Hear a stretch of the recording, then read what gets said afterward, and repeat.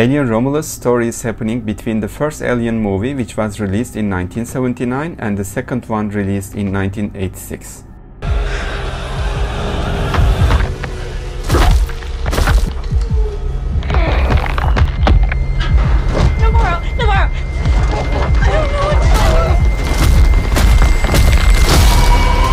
I watched the movie on an IMAX screen with full concentration even though I slept very little last night. The co-screenwriter and director of the movie is Fede Alvarez. This name will be familiar to some of you who love horror movies. I think Fede Alvarez handled this movie very well. By the way, I'll give information about the chronological order of Alien movies in a moment. This movie, Alien Romulus, is the fourth movie in that chronological order and continues the Alien series tradition of using mythological names or places. In mythology, Romulus and his brother Remus are the founders of the city of Rome. Here in this movie, Romulus is the name of a space station. This space station is discovered abandoned near a mining planet. The discoverers are a group of young people working in the mine, and they actually want to escape from this planet that never sees the sun.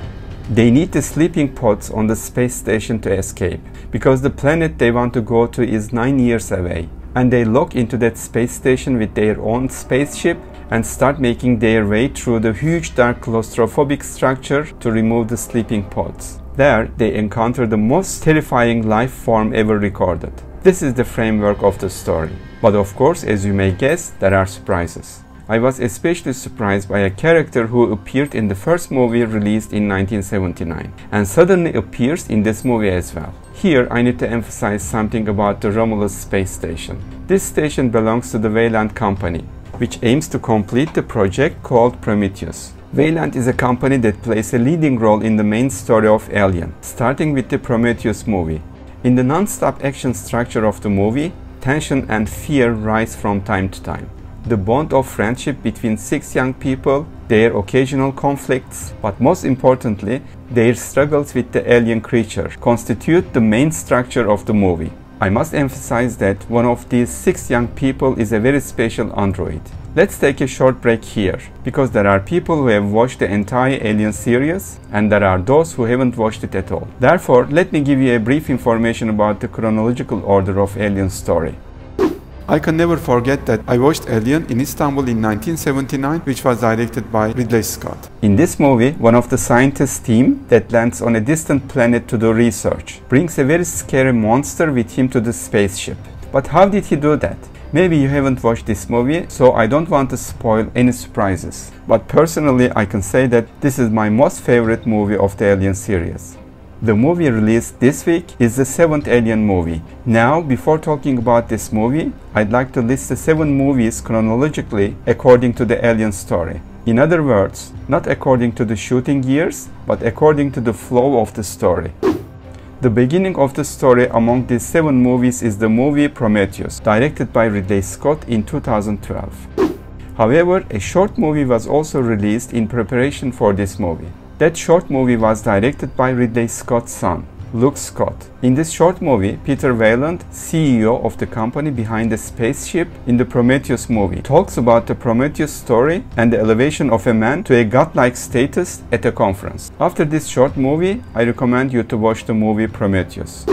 Chronologically, the second movie in the Alien story is Alien Covenant, also directed by Ridley Scott, which was released in 2017. And in the third place in the chronological story, there is Alien, directed by Ridley Scott in 1979, which is the first movie 45 years ago where we met Alien. And we come to the fourth movie in the chronological order. The movie released this week, Alien Romulus. So Alien fans should know that the movie they will watch this week is the story that comes after the Alien story that we watched 45 years ago. And the fifth movie is Aliens, directed by James Cameron in 1986. Ellen Ripley, the character played by Sigourney Weaver in this movie Aliens, is here for the second time because we met her in the first movie. And the movie in the sixth place in the story flow is Alien 3, directed by David Fincher in 1992. Director David Fincher plays the story of this movie as realistic as possible. The last movie in the story is Alien Resurrection, made in 1997 featuring Ellen Ripley's clone named Ripley 8, directed by French director Jean-Pierre Jeunet. I hope this chronological order will be useful for those who have not watched any movies from the Alien series. Apart from these seven movies, there are two more movies featuring Alien. One of them is Alien vs Predator, shot in 2004 and directed by Paul Anderson.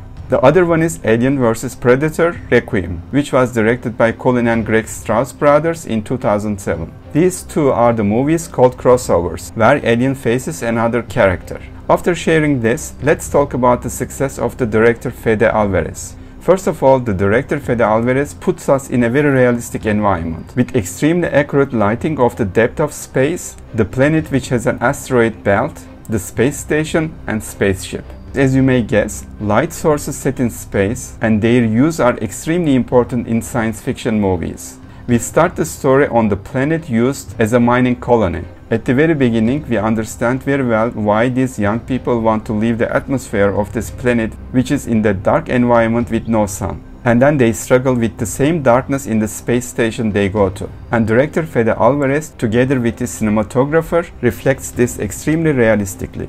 The asteroid belt surrounding the planet, the space station close to the asteroid belt, and the location of the six young people's spaceship were planned extremely accurately and the director distributed the tension very equally among these three elements because it's definite that the space station will crash into the asteroid belt and the time for young people is very short. So when you watch this movie, you'll definitely witness the tension and the fear coming towards you because the space station turns into a complete trap. And in this trap, on one hand, there is the danger of being destroyed by the asteroid belt, and on the other hand, there is an effort to deal with the alien and bring the sleeping pods to the ship in a limited time.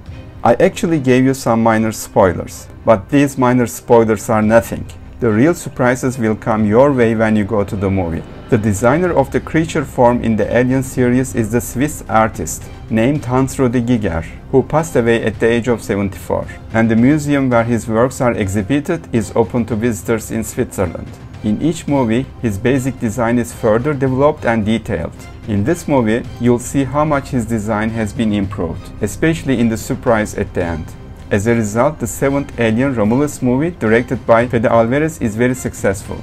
And the success of this movie is approved by Ridley Scott as well, who is the producer of this movie. Before I finish, I'd like to mention the two scriptwriters of Alien, Dan O'Bannon, who is no longer with us today, and 89-year-old Ronald Shusett. Please watch this movie in a theater where the image and sound quality system is good enough.